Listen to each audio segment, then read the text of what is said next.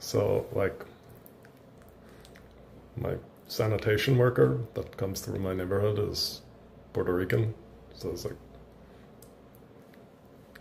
does stuff with garbage is because he's a garbage man. So because it's funny because it's like edgy.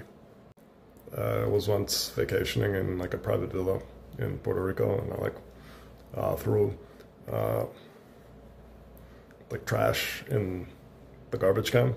So it's like a it's Puerto Rico trash. Like I was making garbage in Puerto Rico. You know, don't get me started on the woke. The woke mind virus doesn't like these kind of edgy jokes. So, you know, like, but it was like a there was like a garbage basket.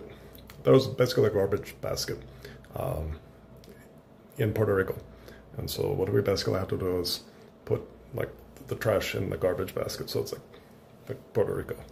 So what, what I'm trying to say is like there was a guy on a basketball court one time that I walked by and like I'm not like the most athletic guy, but I'm like pretty more athletic than people would expect. Like to be honest, like a, like I can shoot hoops, and like there was like a Puerto Rican guy on the court, and like I talked trash to him, and other people talked trash to him. So I was like, he was like Puerto Rican getting trash talked because like, like Tony Hinchcliffe with Puerto Rico. So it's you know basically like these jokes don't always work perfectly, but like you get the point. Like Puerto Rico and and like is like not good, like according to like what I'm like what the joke is saying. So like basically, you know, like Tesla is a great company. So like when I wasn't a billionaire and I didn't have like as much money and it was like a little tougher for me to like get random women pregnant and create like my own superhuman race.